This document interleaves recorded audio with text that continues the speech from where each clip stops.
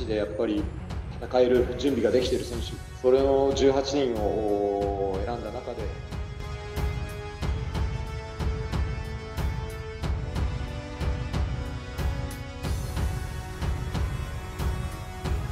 ミサ君からそこ狙わず来るかもみたいな、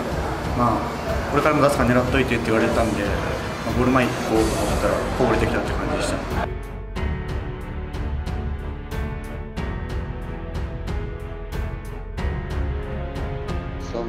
点取った後とかあ飲水の前後とか、まあ、やっぱそういうところで我々の少しこうピンチになったり失点になったりするところがあったのでこれまでの戦いでもや。っぱそういうところでより集中力を高めて守備のところでもバラバラにならないように前線は行くけど後ろはついてこないとかにならない。大体のその大枠の基準というところはあの選手の中でプレーさせるようにしました。そしてまあやっぱり1点では難しくなるので追加点をどうやって取るかっていうところも、まあ、交代選手含めて、えー、考えた中であの伊佐が本当に個人でよく戦ってくれて追加点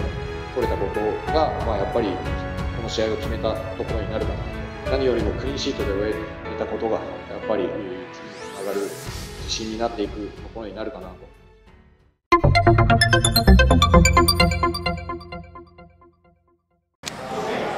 えー、湘南戦終わって伊佐選手に来てもらいました。お疲れ様でした、はい。かなり激しい試合でしたが、はい、途中から入ってゲームにうまく入れましたか？そうですね。ファーストプレーがちょっとうまくいかなかったんで、まあ、やっぱりはなかなか途中から入るのには難しいゲームでしたけど、うん、もうそんな中、はい、大事な大事な大事な追加点、うん、振り返ってもらっていいですか？うんそうですね、前半からみんなすごい頑張ってくれて特に俊さんが、まあ、一番前でしっかり体張って走って守備してくれてたんでその分、まあ相手のディフェンスがちょっと疲れてたかなというところで足が止まってたので、まあ、みんなで掴んだゴールだと思います、まあ、残り10試合、もちろんこれからも負けられない戦いが続くわけですけど、次、九州ダービー、はい、アウェーでの突戦というまた難しい試合になりますが、そのゲームについて一言お願いします。そうですね、まあ今日メンバー入ってない選手もう、えー、しっかりと準備できてますしもう一度みんなで競争しながら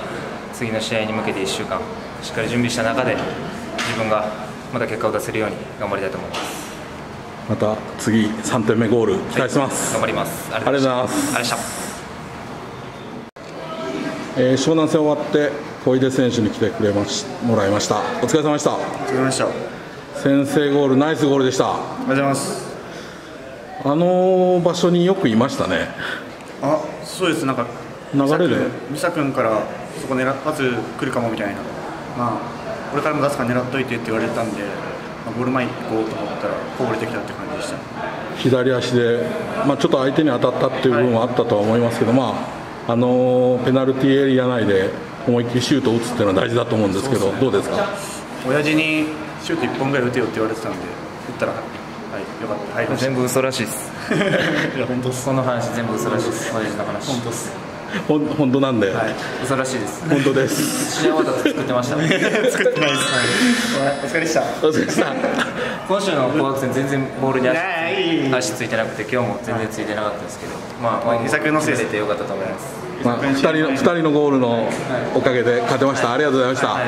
他のプレー頑張ります、じゃあ。頑張ってください。いいよ。ちょっとガヤが入りましたが、じゃあ最後、次、鳥栖との九州ダービーですけど、一言お願いします、はいえー、まず練習をするのが一番大事だと思うんで、まあ、今日は喜んで、まあ、また明日からしっかり、まあ、次に向けていい準備したいと思います。ありがとうございました。